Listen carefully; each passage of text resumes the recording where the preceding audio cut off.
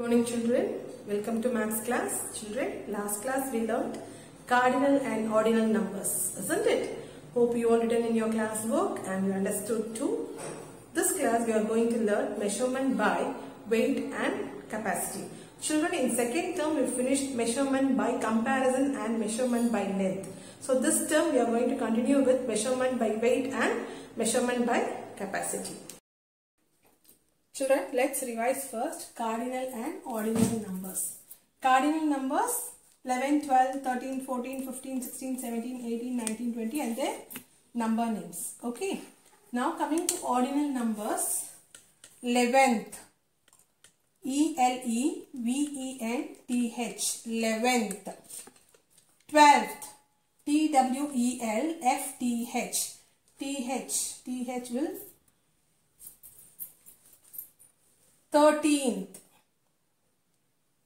F O U R T E N T H 14th 15th F I F T E E N T H 15th F I F T E E N T H 15th S I X T E E N T H 16th S E V E N T E E N T H 17th.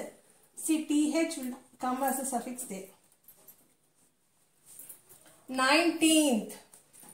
N I N E T E E N T H 19th. 20th. T W E N T I E T H 20th.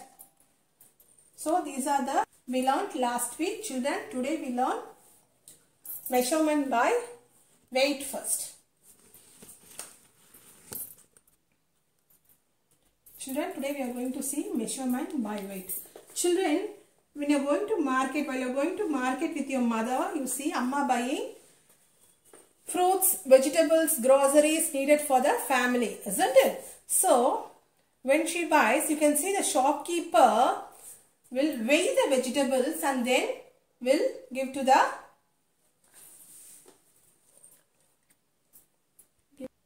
customer. For example, if your amma wants to buy some vegetables or fruits, the shopkeeper or the fruit seller or the vegetable seller will weigh the fruits or vegetables and then one day will give to amma. Isn't it? So, the, the units used to weigh. The units used to measure weight. Standard units standard units used to measure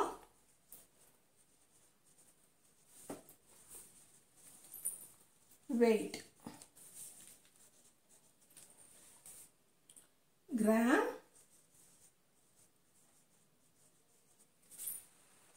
kilogram. Gram is represented by letter small letter g and kilogram is represented by kg. If Amma wants to buy small quantities, shopkeeper will use gram. If she wants to buy more quantity like rice, vegetables, fruits, the shopkeeper will use kilogram. Okay, for large quantities they use kilogram. For small quantities they use gram. Okay children, for small quantities or less quantity. For small quantities, they use gram. For large quantities, bulk quantities, okay, they use kilogram. So, the shopkeeper will weigh the vegetables or fruits or groceries whatever it may be and then he will give it to the customer. Have you seen the instrument he is using? Yes. The instrument is called physical balance. Physical balance. He will place weight in one balance and vegetable in the other balance. Okay. It will be like this isn't it?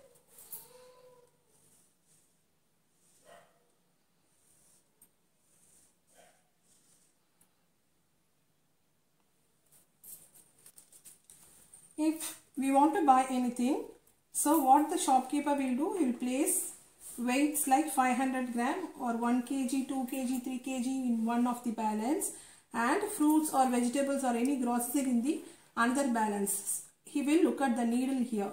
If it faces the middle, it comes to the middle, points the middle, the balance are equal. So at that time, he will give the vegetables or fruits to us. Okay. So this is called physical balance and one more balance is there that is called as electronic balance or digital balance. Electronic balance or digital balance. So this is called as digital balance. They will place the vegetable or fruit that we want to buy on this digital balance and it will show the correct weight. Okay, digitally. Okay, so these are the instruments used to measure the weight. So I told you gram represented by G, kilogram represented by kg. Now how these two are related? 1 kilogram is equals to 1000 gram. Okay, 1 kilogram is equals to 1000 gram or vice versa. 1000 gram is equals to 1 kilogram. We can write either way. Okay. So 1 kilogram is equals to 1000 gram or 1000 gram is equals to 1 kilogram. Children, now I told you when buying large quantities we use kilogram and when buying small quantities we use gram. Now see how to convert from kilogram to gram. Convert kilogram into gram. Okay, kg to gram. First one 3 kilogram. I want to convert this 3 kilogram into gram. We know already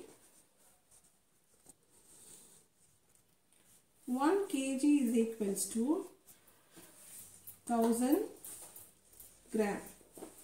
So 3 kg is equals to 3 into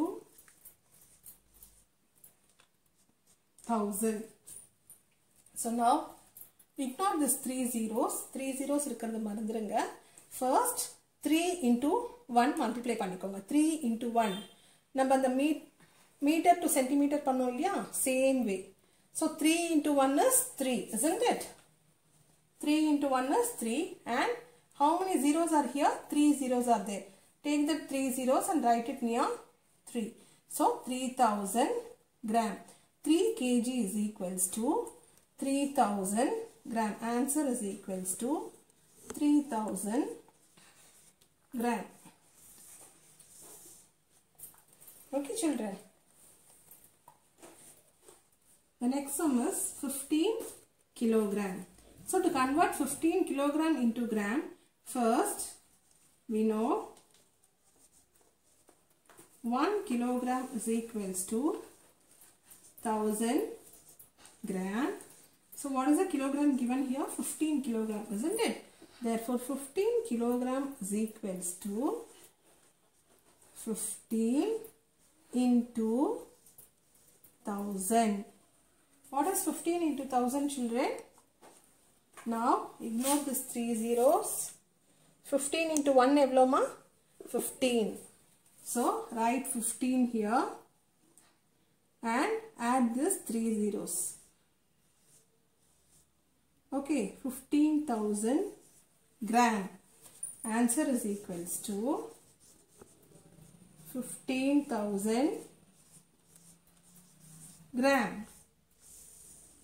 15 kg is equals to 15,000 gram. We converted kilogram into grams now. Okay. Next one is 20 kg. To convert this 20 kg into gram. 1 kg is equals to 1000 gram. You know this already, isn't it? So write this formula in all the sum. It is important. Okay, from this only we are going to get answer for 20 kg. 1 kg is equals to 1000 gram. For, thousand, for 20 kg, how many gram? So you have to write this formula for all the sums. Okay, it is very important. So that's why I am writing for all the sums. For 20 kg is equals to, so write this 20 into 1000. Now you know how to multiply isn't it? So ignore that 3 zeros. First multiply 20 into 1. What is 20 into 1 children? 20. 20 ones are 20 right? 20. 20 ones are 20. Now multiplication is over. Now what you have to do is take this 3 zeros and write it to the right of the answer you have got. So now write 1, 2, 3 zeros. Okay now place the comma here. 20,000 gram. Answer is equals to 20,000 grams. So 20,000 grams. So 20,000 gram is the answer. Children, see while teaching and while I am writing, I am writing the heading and the numbers, uh, uh, subdivision here and representing the answer with the and highlighting the answer here. Everything I am doing step by step, isn't it? I have seen few people's worksheet without any number in the margin. Okay, not writing them in properly in order and uh, they are not not even uh, drawing line using scale. Just free hand they are drawing lines and uh, the answer is also not highlighted, not written as answer is equals to. They have not written like that. Just like that they have submitted the worksheets. Children, please write the worksheets properly and submit it as worksheet 1, worksheet 2, everything neatly written.